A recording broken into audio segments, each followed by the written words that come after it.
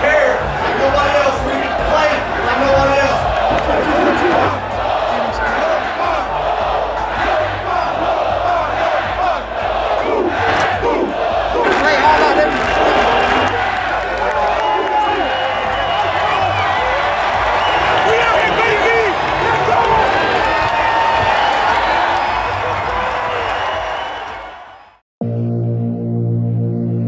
17th ranked team in the country. Lamar Jackson coming here to Raleigh. This is a big, big game for NC State.